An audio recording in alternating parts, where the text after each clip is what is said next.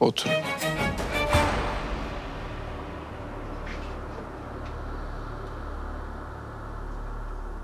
Muammer'e üzüldüm. İlla ki bu çıktığımız yolda kaybedeceklerimiz olacaktır. Geride kalanlara düşense kayıpları güzel yad etmek. Ailelerini el üstünde tutmak.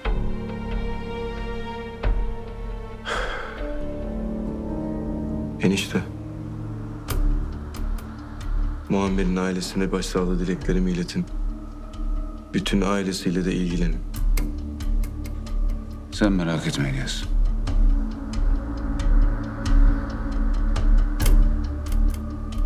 Vallahi ben sizle gurur duydum.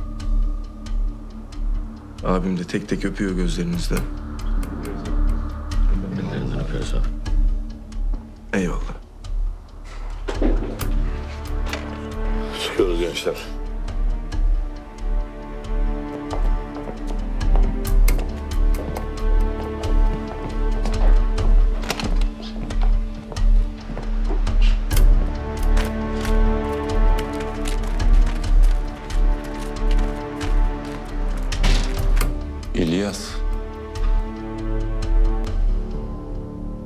Buyur Fahri Baba. Bu olanlar abinin kontrolünde mi? Benim kontrolümde. Ha yok. Abinin haberi var mı diye soruyorsan Onu soruyorum.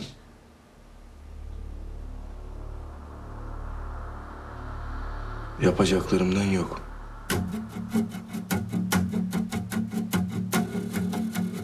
Ama sonuçlarından var.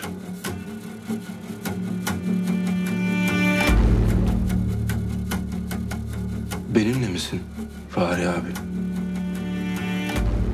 Abine sorayım. Cevap veririm. Sana da yakışanı bu zaten.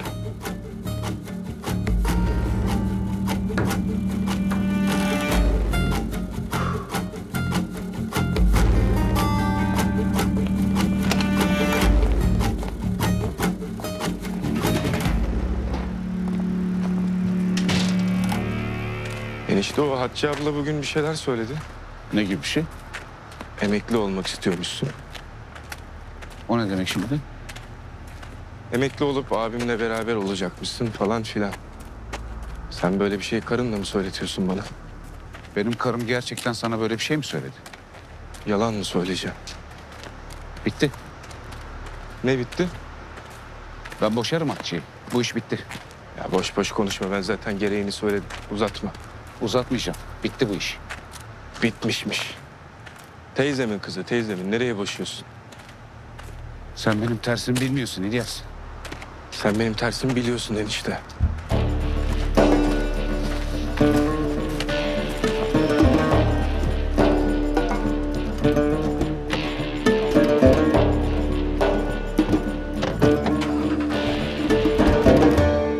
Nasıl var ki cihan Bu cihana sığmaz